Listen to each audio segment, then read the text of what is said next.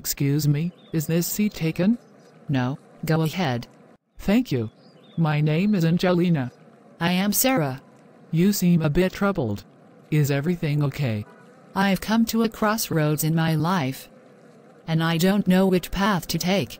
I need guidance. Divine guidance, perhaps. How did you know? Let's just say I have a way of showing up when people need a little heavenly help. Tell me more about your crossroads.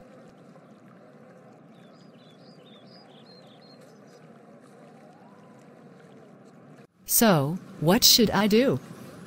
How do I know which path is right? Sometimes, the answer is right in front of us. It's about listening to your heart and trusting that God is guiding you.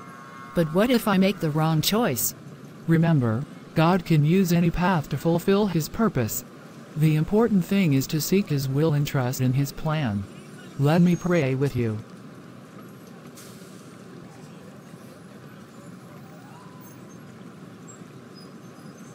I've made my decision, but I still feel uncertain.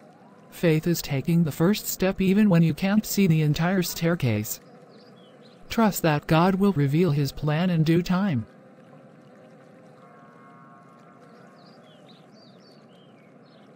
Thank you for being here, Angelica.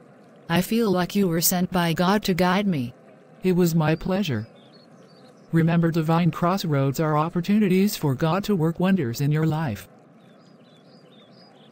May your faith be your guide at life's crossroads, illuminating the path to His greater plan.